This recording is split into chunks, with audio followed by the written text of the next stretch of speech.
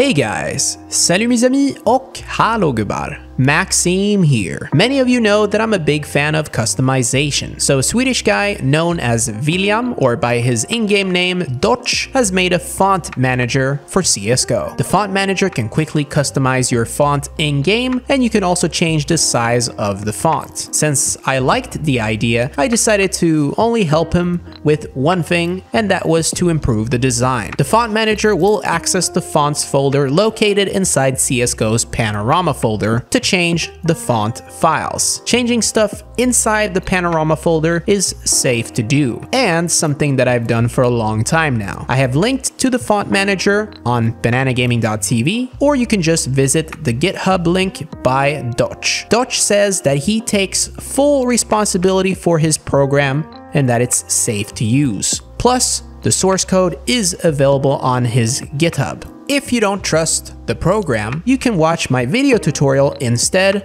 on how to install fonts manually. Link will be in the description below or at the end of the video. So now I'm gonna start it up and show you how it works. First, it will locate your Counter-Strike Global Offensive directory, but if the program is not able to find it, right click on CSGO, manage, browse local files, now copy the path and put it in the program. Inside this list, you can see all your custom fonts for the game. Because I don't have any fonts, it's only showing the default font for CSGO. I can either press here to add a font already installed on my system and browse the different fonts, or just drag and drop a font directly inside this list. I'll start by adding a font already installed on my computer. Next up, we can adjust the size if we want, but I'll just keep it as it is to show you how it looks.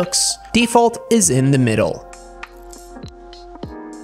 After starting my game, you can see the font is now enabled. I'm gonna download a Christmas themed font for CSGO just because, well, it's that part of the year. I use dafont.com for that.